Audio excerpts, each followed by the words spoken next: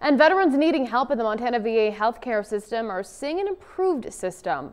In a news released today, the VA says and a new admissions process has in, helped increase occupancy in residential treatment to 87%. Montana has not been able to reach the national benchmark of 85% in three years, with the occupancy ranging between 77 and 82%. The VA at Fort Harrison has streamlined workflow, making it easier for a veteran in need to get a bed in the program. The residential rehabilitation program has 12 spots for substance abuse treatment and 12 for PTSD.